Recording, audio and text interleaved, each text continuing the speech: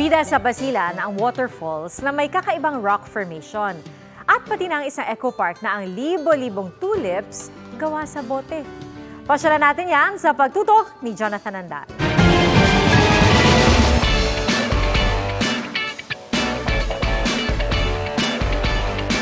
Tiyak na mafo-fall in love ka this summer season sa Bulingan Falls na atraksyon sa Namitan, Basilan.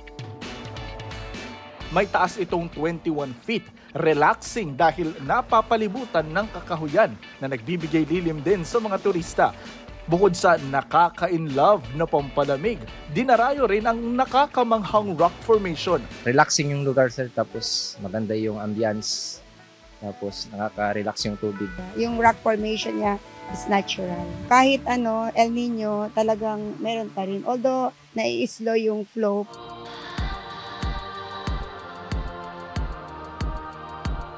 Meron namang 30,000 reasons for happiness na hatid ang 30,000 tulips sa Eco Park na ito. Netherlands yan? Nope, dahil sa Lamitan City rin yan. Ang tulips na yan gawa sa recycled bottles na bunga ng Solid Waste Management Program ng lungsod.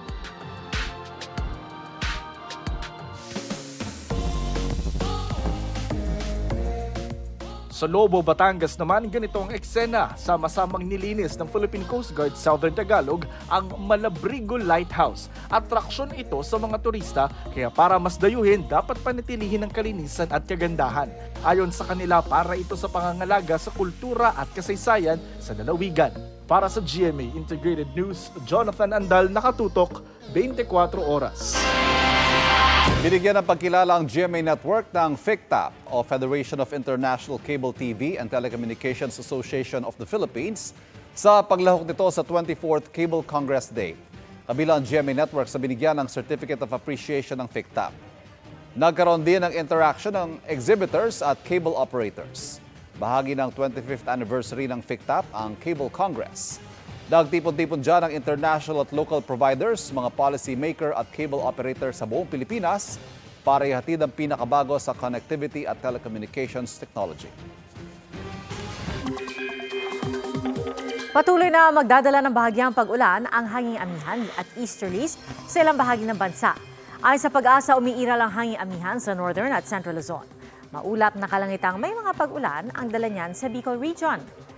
Mahinang pag-ulan naman ang dala nito sa Cagayan Valley, Cordillera, Aurora at Quezon. May isolated light rains naman itong dala sa Metro Manila at sa iba pang nalalabing bahagi ng Luzon. Easterlies naman ang nagpapaulan sa iba pang nalalabing bahagi ng bansa. Batay sa rainfall forecast ng Metro Weather, umaga pa lang bukas, posible makaranas na ng light to heavy rain sa ilang bahagi ng Mindoro.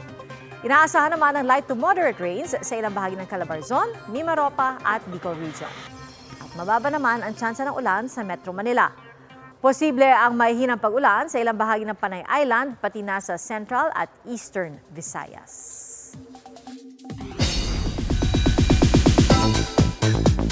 Quick rundown naman ang showbiz happenings.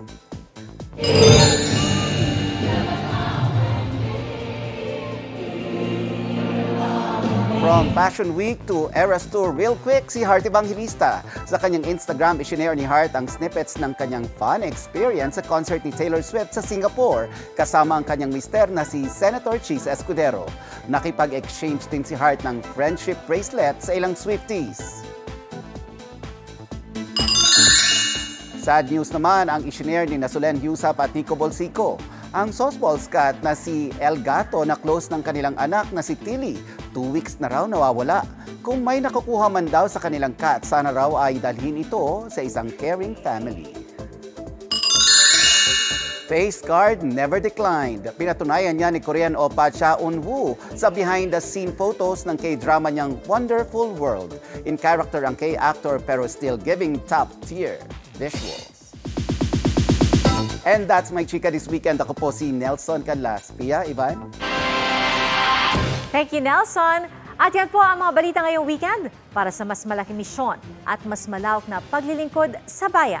Ako po si Pia Arcangel. Ako po si Ivan Mayrina mula sa GMA Integrated News, ang News Authority ng Pilipino. Nakatutok kami 24 oras.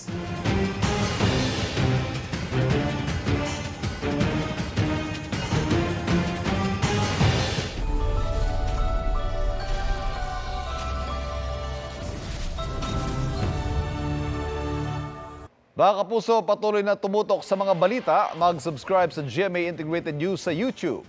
Sa mga kapuso abroad, samahan niyo kami sa GMA Pinoy TV at www.gmanews.tv.